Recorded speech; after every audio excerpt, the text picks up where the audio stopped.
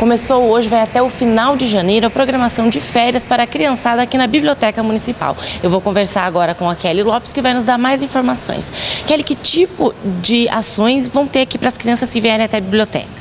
Bom, além de jogos interativos, né, que, que estimulam um pouco da cooperatividade, um pouco da dinamização, vai ter também contações de história, né, histórias que falam sobre personagens interessantes, né, que passaram por várias aventuras, e também algumas oficinas para testar um pouco da criatividade e criar novas ações de imaginação nas crianças. Acontece todos os dias da semana? Sim, de segunda a sexta, a partir das duas e meia, estamos disponíveis aqui para atender as crianças e alguns são intercalados as atividades. Nas segundas e sextas são os jogos, nas terças e quintas a contação de história e nas, nas quartas-feiras a oficina. Então tem programação para a semana inteira, a criança não vai enjoar. Com certeza, eles podem vir e ficarem à vontade para fazer o que quiser.